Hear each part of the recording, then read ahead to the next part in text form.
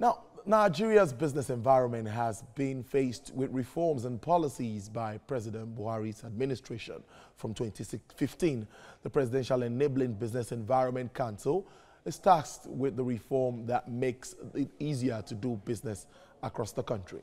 The improvements are expected to come in a form of reduction in cost, time, and procedures in starting and running a business.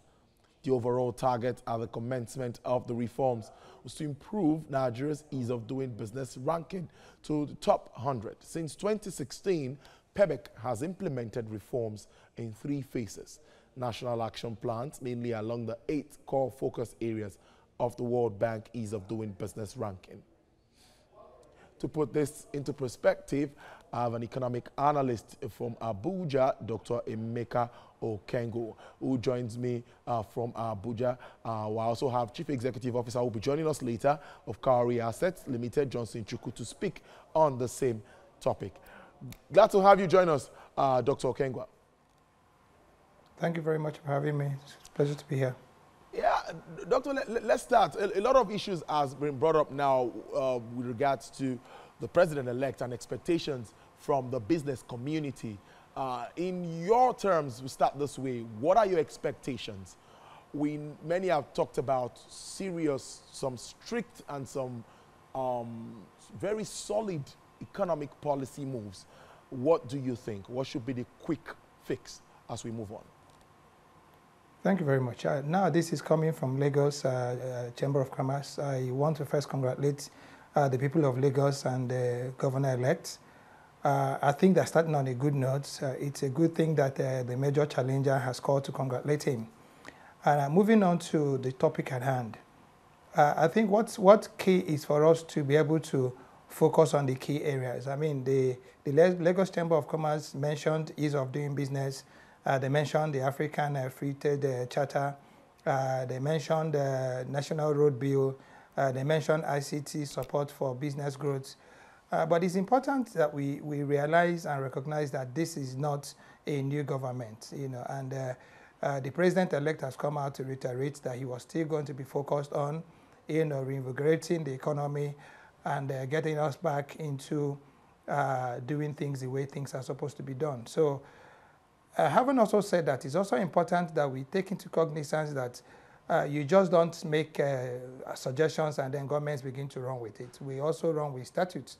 And whatever is not captured uh, in a budget or policy program uh, or policy documents, it usually would come in as an idea. So what, what will worry us or what we should focus on are those issues that, we, that has been captured already uh, in, the budget, in the policy document of government. And for me, I think government has, is focused on uh, ease of doing business. You know, they, they are not unrelenting in it. And uh, the Ministry of uh, Industry has done so much to that effect that uh, our rankings in uh, uh, the international scale of ease of doing business has improved. two, government has also helped on road infrastructure, which was what the LCCI was also trying to, you know, bring to the fore. again, he, they talked about the custom service and uh, the need for the custom service. I think if we, if we put in the ICT component of what it is that ease of business is all about, it's going to ease it a lot. So in, in one word, yes, it's a good thing they have done. Uh, two, it's important for us to reiterate that this is not a new government. It's, uh, it's uh, the same thing. I mean, government didn't change at the level of uh, Lagos vis-a-vis -vis the party that won the elections. It didn't also change at the federal level you know, vis-a-vis -vis the party that's also in power. All right, now, Doctor, let, us look at this. Uh, many say there's this uncertainty uh, talking about investors' confidence in Nigeria. We see what is happening in the stock market and also the economy at large. When do you think that this confidence will actually return to Africa's most populous uh, nation? Well, you must, you must also look at what's also happening to the bonds, to the Nigerian bonds uh, like you're losing money from the stock market, you're also gaining. People are also, you know, uh, the bonds, the, the green bonds, the, the, the sukuk bonds, most of the bonds are, are actually, you know, earning currency. Uh, for the investor confidence, money, like I keep telling people, is a coward.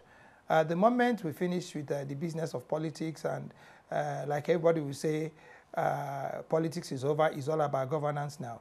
Uh, the moment you have that enabling environment and people know that their monies are safe, And, and this will happen, you know, when uh, losers and winners come together to say, okay, fine, it's time to put a stop on politics. And then those of us who want to go to courts can go to court. And then they don't begin to now, you know, uh, infringe on, on, uh, on uh, governance. I think the investor confidence, I don't think it was lost to start with.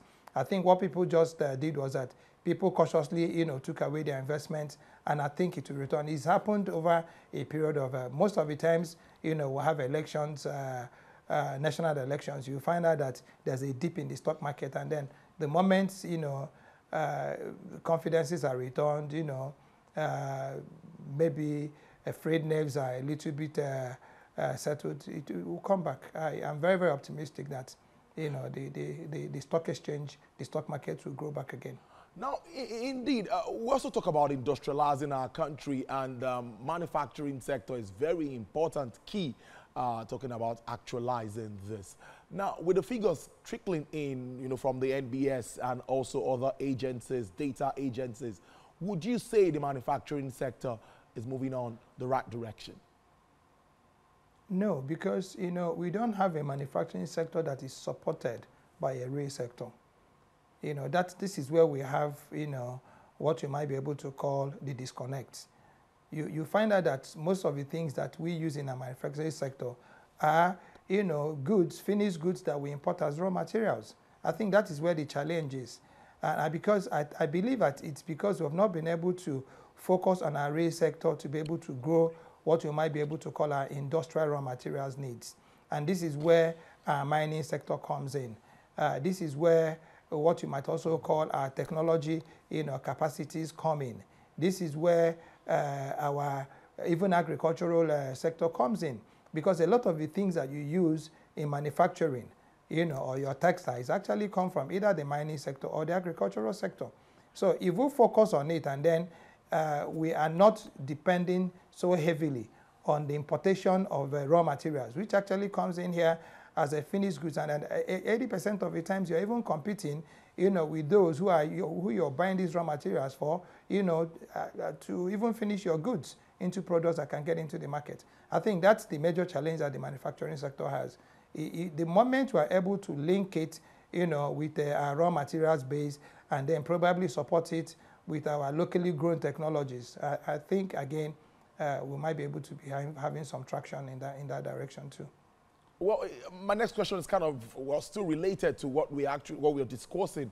Infrastructure gap remains also very important if we are to industrialize and also achieve uh, the benefits of the of the economic recovery and growth plan. And here comes public-private partnership.